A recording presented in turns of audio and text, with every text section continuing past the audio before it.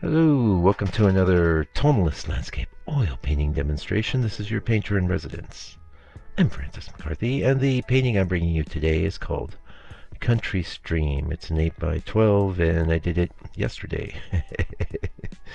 I don't know if you'll be hearing this uh, yesterday. Today is uh, September 2nd, 2021. And um, how you doing? How you doing?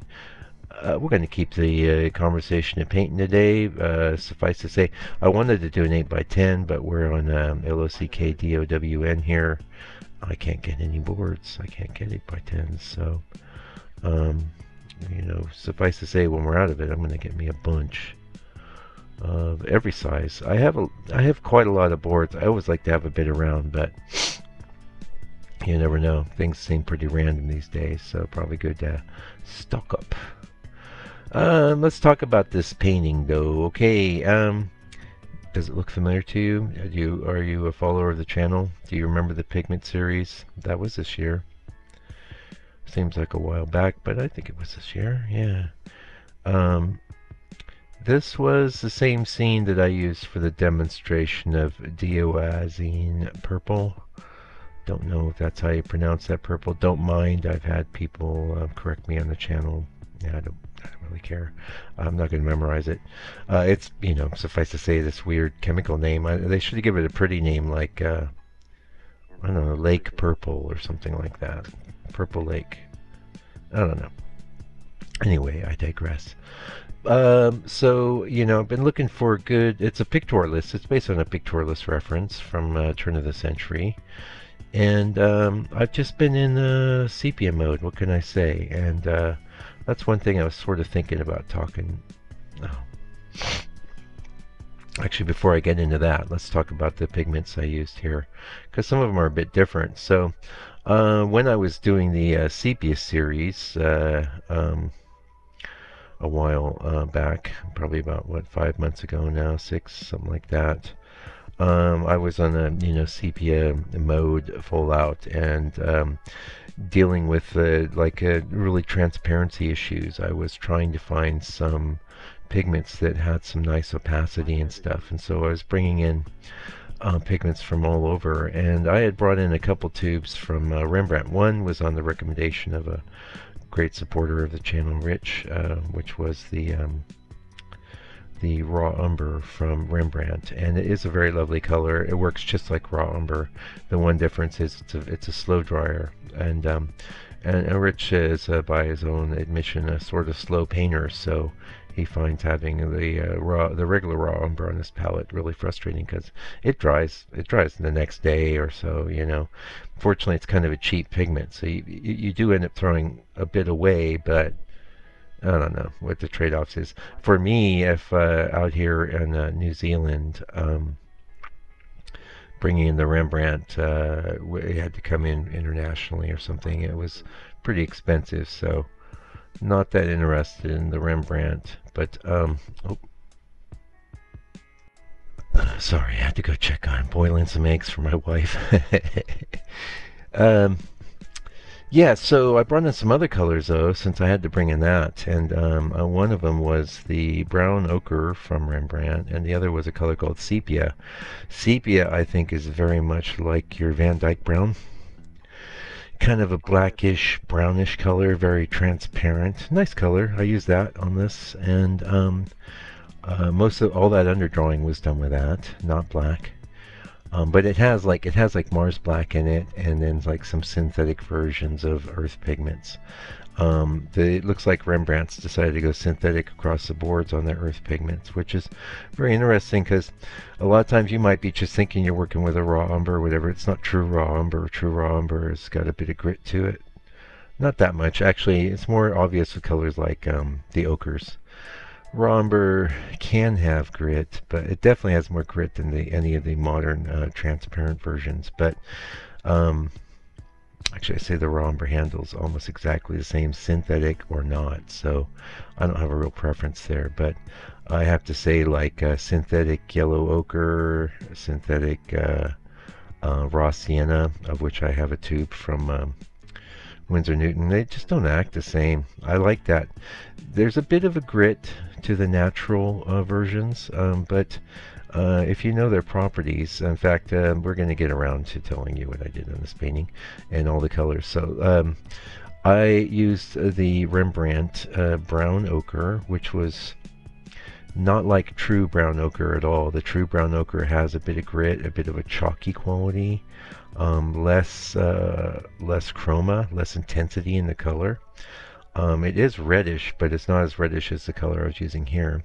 So you can really see that uh, Rembrandt um, brown ochre in the sky that uh, up in our uh, left there, that kind of reddish feel. That's that's that color almost straight up. Um, the other color is uh, that, that, I used was I used lead white on this painting because that's what I had to hand, and every now and again I just like to break out some lead white. Um, and you know me, I'm I'm the king of the sidebar, so I'm going to be true to myself and just keep sidebarring. Hopefully you're, you know, enjoying watching the painting and just going along for the ride. But um, the uh, what's the difference you say between uh, the lead white and the titanium white? Well, the titanium white's got a lot more opacity for one, and one of the things that uh, distinguishes the lead white is the its ability to really hold strokes. You know, um, you can hold strokes with your titanium white, but uh, lead white wants to hold the stroke. So um, you can get a little more creative. And also, if you're really after an old timey kind of look, definitely want to use the lead white because nobody was using titanium white until the 20th century. You can get close, very close with titanium white um, to, you know, getting, you know, the master kind of look because let's face it, white, you know, is going to do a lot of the same things um, you just use really with titanium less of it and you get a lot more opacity. So that actually created a bit more struggle, but it also uh, it gives you less opacity, the lead white, but it gives you more give. So that's a trade-off. Um, the yellow ochre that I used was this tube of Old Holland uh, yellow ochre. I just thought I'd try a premium one since I always use a cheap one. It's uh, you can tell it's like from dirt somewhere more so than the uh, usually I use a Daler Rowney Georgian yellow ochre uh, which was, works totally great. Um, but again, I had the um, the uh, old Holland tube there, and I thought, well, I'll just use some of that, and I did a good job. Um, when we get to the um, a little later on in the painting, and I start trying to bring it in um, opaque over wet other stuff, it, it let me down. The, the ochre let me down altogether. Um, I was able to make a nice painting, though. I mean, that's the thing. The uh, and one of the reasons I always like to talk about the properties of paint and pigments is because you'll be struggling with these properties. Say if you've got a very transparent pigment and you're trying to cover something. Um, and you don't want to use the really thick layer of paint, you're going to be struggling. Okay, that's just the fact. Um, so in your mixtures, it's good. Uh, and I mentioned this actually in the live, um, the live version of this uh, painting session, which you can get access from my members area which is a little link underneath this video. Of, the, just to digress, a whole members area is full of just the live versions, and I do these spit up 15 minute versions, which is what I've been doing on the channel for since the beginning. I started doing the live thing a while back, um, and then decided to do both. So I have got live stuff in the members area, and um, what's cool about that is you know you're listening to me as I'm uh, painting, and there's a lot of insights and things that that come come uh, come around. Um, I try and share some of that here in the 15 minutes as well, but. Um, but I was struggling with that yellow ochre to get that, uh, you know, thing. Where I felt the yellow ochre did help me was the opacity in the sky, and a lot of times you might lean into something like yellow ochre instead of white, because white even the beautiful lead white will have a tendency to make things chalky. Now, a certain amount of chalkiness, in fact, chalkiness in the sky is not usually a problem. Um, you may make your whole painting chalky, and then a, a, a workaround to that is to do maybe a quick glaze or something with something like transparent earth yellow from Gamblin. Um, anyway, um, you know, sidebar, sidebar, sidebar. You know me. Uh, but I really enjoyed doing this painting. And one of my briefs lately is like I had a 5x7 where I almost did the 5x7 because I couldn't find the 8x10 uh, prepped one. Um, but I was like, nah, I don't need another 5 by I have so many 5 by 7s I want something bigger. My goal lately has been to do um, something I might have done on a 5 by 7 like this um, in close to the same time. And what I'm finding is it's, you know, just a little bit longer. And um, as you scale, I think that's always a great goal. You know, if you, I'm always encouraging people that are learning painting to work fairly small but not exclusively small. Otherwise, you'll fall into sort of the trap that I did. Yeah, sorry about that. Those eggs were ready. um, yeah, anyway, a bit of a trap I fell into because I, I, did pick up on that tip from uh, old Kevin McPherson, you know, 100 paintings, 100 days, 5 by 7 you know. Great idea, great way to learn how to paint. But you can get into this thing where it, when you want to start scaling up, um, you know, there's a lot of things you miss, like the flick with the flick of the wrist. At this size, or five by seven, or whatever, you get, you know, a bush, a, a bird, a stroke. Uh, you can do that on the larger uh, scale as well, but um, to try and keep that immediacy, that fresh quality that the masters do when they scale up, I've I found it to be a challenge. I have got around it. I feel uh, quite comfortable with the larger sizes now. Um, but even if uh, being comfortable with the larger sizes, I like working fairly small, and I always will. Yeah, I'm pretty sure I always will. Um, one other big thing is, you know, it takes a heck of a lot less paint. Now I am working on a uh, piece in the uh, in my little home studio. Um, it's going to be all blues. I'll be uh, uh videotaping uh, that. I say videotape. You can tell I'm an old guy. I'll be videoing that and uh, sharing that on the channel. That should be pretty cool.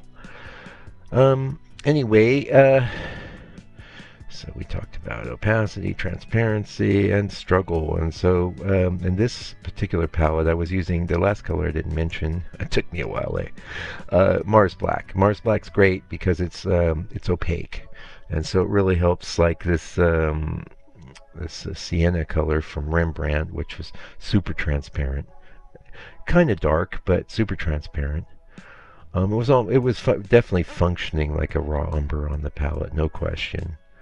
Um, that was transparent. The uh, brown ochre, which should have had a little bit of opacity to it, had very little. Uh, you know, the there's Rembrandt's synthetic version of the brown ochre had very little opacity in it, and uh, frankly, I way prefer the um, the version I get from Old Holland. In fact, I've stocked up on that. I have like four or five tubes because uh, it, it does. It's not full out opaque, just the same way that yellow ochre is not full out opaque, but it brings opacity to things without chalkiness, with less chalkiness. And I'm always having awareness of chalkiness. I don't really like too much chalkiness in my work. Um, so the brief here was to get it done uh, pretty rapidly, keep it expressive, and we're kind of getting to that part of the painting there where most of it's done, and we're doing little bits of this and that. Now those little bits of this and that can turn into the same length that I've spent doing the entire painting. We're uh, would have been at around the hour mark um, in real time uh, now. And so instead, I'm just looking to clean things up so I can walk away with grace.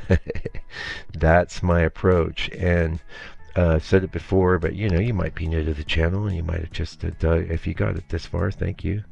Um, you, you dig in uh, some information, you're writing some things down and, and what have you. And what I could say to you is if you're just starting out is like, uh, especially if you're just starting out. If you're an amateur painter, you're just uh, you know haven't done that many. Um, an honest, expressive attempt at portraying a scene is worth way more than a belabored, uh, perfectionistic, uh, um, overwrought painting that you'll notice down the road was overworked and you killed it.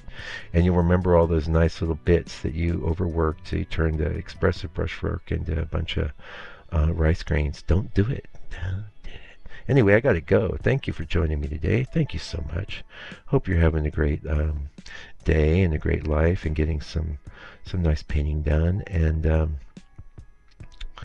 until I come back with another video, do me a favor, do me a solid.